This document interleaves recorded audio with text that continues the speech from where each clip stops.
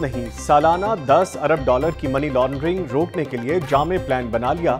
کوشش ہے I am F پر کم سے کم انحصار کیا جائے۔ ہمیں سعودی عرب، چین اور یو اے ای سے اچھے پیغامات ملے۔ وزیر اعظم عمران خان کا لاہور چیمبر آف کامرس کے وفد سے خطاب۔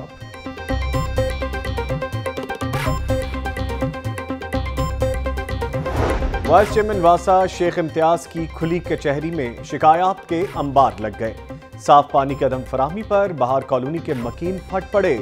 دفاتر کے چکر لگا کر تھک چکے، کہیں شنوائی نہیں ہو رہی۔ صاف پانی دیا جائے سائلین کا مطالبہ۔ Shalimar medical and dental college کا چوتھا کانوکیشن میڈیکل گریجویٹس میں ڈگریز تقسیم۔ ہونہار طلبہ کو انعامات سے نوازا گیا۔ تقریب میں اساتذہ اور والدین سمیت طلبہ کی بڑی تعداد میں شرکت۔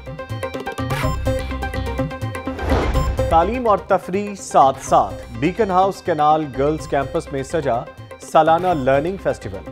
تیس سے زائد انوار اقسام کے کھانوں کے سٹالز۔ بچوں کی خوب موج مستی۔ والدین بھی سیلفیوں میں مگن نظر آئے۔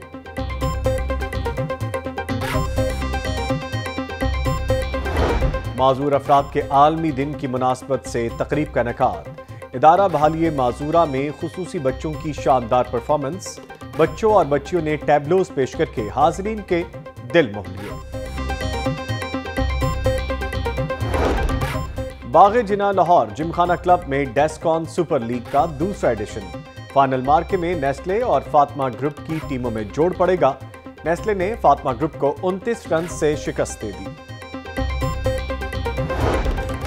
اور دنیا نیوز کی کامیابی کے دس سال مکمل۔ ہیڈ آفس میں سالگرہ کی پر وقار تقریب۔ چیئرمین دنیا میڈیا گروپ میاں عامر محمود نے کیک کاٹا۔ شیخ رشید، میر لاہور، فیاض الحسن چوہان، ڈاکٹر یاسمین راشد سمیت عام سیاسی اور صحافتی شخصیات کی شرکت۔